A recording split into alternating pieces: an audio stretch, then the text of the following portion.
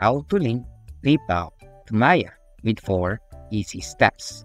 Let's go. Step 1. Upgrade your Maya account. So, if hindi mo pa na-upgrade account mo, upgrade mo na. So, if hindi ka marunong, may tutorial ako about it sa YouTube.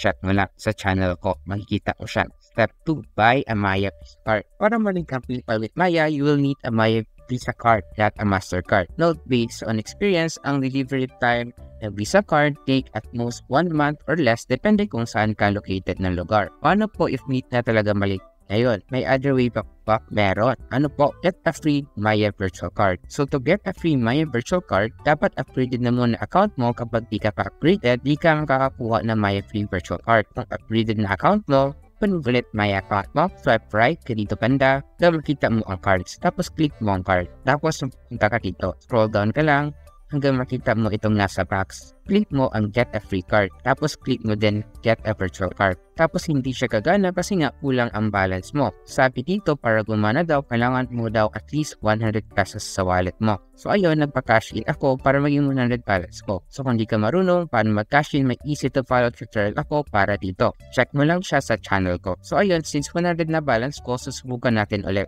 So ayun, bumalik tayo dito click natin get a virtual card. Ayun, successful na at meron na tayong Maya Virtual Visa Card. Click natin done and automatically makikita na natin ang ating virtual card. Click natin ito at makikita natin saan dito sa card natin. And if we click natin itong mata, makikita natin lahat ng details ng card mo. Step 3. Link Maya Visa Card to my app. So para makalink, you need to be an upgraded account kapag basic account ka lang, hindi ka makakalin. So let's say upgraded account ka na. Balik ka lang ulit dito, click mo card, tapos sa pupunta ka dito. Scroll down ka lang hanggang makita mo link ang my card. Click mo yan, tapos sa pupunta ka dito. Lahat mo lang mga needed information. So kung di ka marunong, tuturuan kita. Dito sa card number, ganito ang pag-fill up. Kunin mo yung Maya Visa card mo, flip mo siya para makita ang likod at makikita mo na information na kailangan mo. So, para sa card number, itong nasa box direct. Copy mo yan. Note, huwag mo kopyahan yung akin ha yung nasa card mo lang. Demo lang ito. As you can see, ilagay ko na ang card number. Dito naman sa validity, located siya sa baba ng card number, yung 08-32. So, yung 08 sa month siya. Click mo itong down arrow,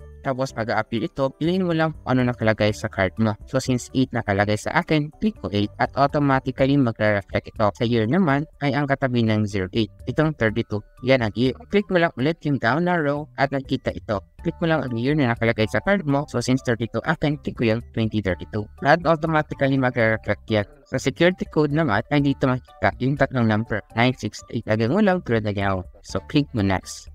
Tapos, punta ka dito at papadala sila ng one-time OTP. Copy mo lang yon at lagay mo lang tulad na ginawa ko. Then, click next.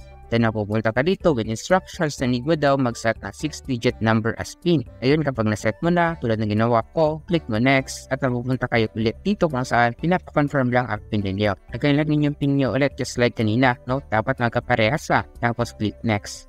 Tapos makikita niyo ito, meaning successful pag-link na my Visa card mo sa my app. So, paano naman po kapag may virtual Visa card. Paano po i-link? No need to worry. If may virtual card meron ka, automatically link na siya sa Maya app. Step 4. Link Maya with PayPal. To link PayPal to Maya, first gawin is log into your PayPal account, then open the PayPal app sa phone. Click your balance, tapos pupunta ka dito. Click transfer money, tapos napupunta ka dito. Click mo itong nasa box and you will see na pwede ka na mag-add na card. So to add a card, balikan natin yung Maya card natin. Itong nasa box sa red, copy mo yan tulad ng ginawa natin kanina at ilagay natin sa card number tulad ng ginawa ko. If sa virtual card naman, ito na number, kopyahin mo. Pagkatapos, click next. Tapos pupunta ka rito. Fill out mo lang yan. So kung hindi ka marunong, tuturuan kita. Sa mm slash yy, itong 0832, dito banda, copy mo lang tulad ng ginawa ko. Sa my virtual card naman, dito siya banda makikita sa card. Copy mo lang din yan. Sa CSC naman, itong 3 digits, 963. Copy mo yan tulad na ginawa ko. Kapag sa virtual card, dito banda siya makikita itong 111. Tapos click mo itong add card, then makikita mo na successful link na ang card mo.